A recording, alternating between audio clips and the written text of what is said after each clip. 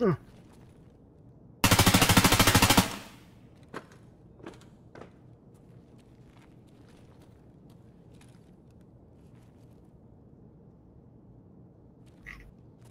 I know I just got charged for that fucking hell.